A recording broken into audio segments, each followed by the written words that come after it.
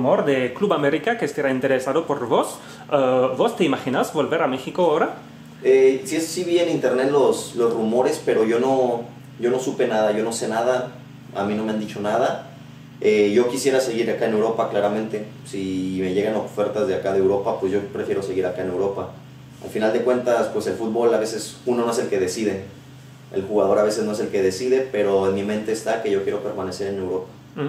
Y ya jugaste más de 100 partidos acá en el Genk. Eh, si vos puedes elegir el año próximo, ¿te ves siguiendo jugando, seguir jugando acá en Genk o en una liga capaz mayor? Eh, obviamente mi, mi, objetivo es dar un salto a una liga mejor. Yo aquí cumplí ya mis, mis 100 partidos, he estado jugando muy bien, he estado aquí en el club. Igual si me toca estar aquí lo voy a seguir haciendo, voy a seguir defendiendo este escudo, pero mi, mi inspiración, mi motivación es dar un salto. ¿Y cuál es tu liga favorita? A mí de todo el mundo las que más me gustan es la española y la de Inglaterra.